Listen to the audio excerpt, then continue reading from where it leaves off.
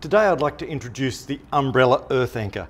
This is a simple screw anchor that can be very effective to anchor an umbrella into sand or grass. Let me show you how it works. The anchor comes with a strong metal rod which is inserted into the top section.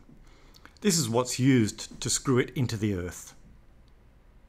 A side screw holds the umbrella in place.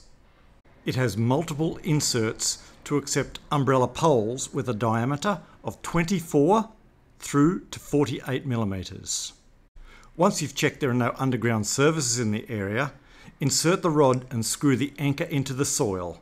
Fit the umbrella and what you have is a very stable umbrella anchor.